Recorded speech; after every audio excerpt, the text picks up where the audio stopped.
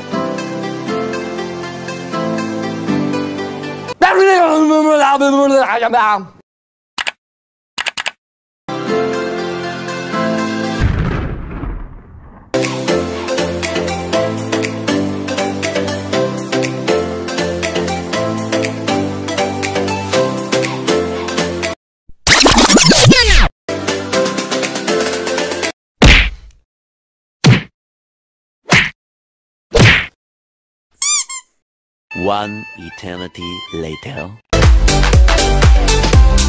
Thank you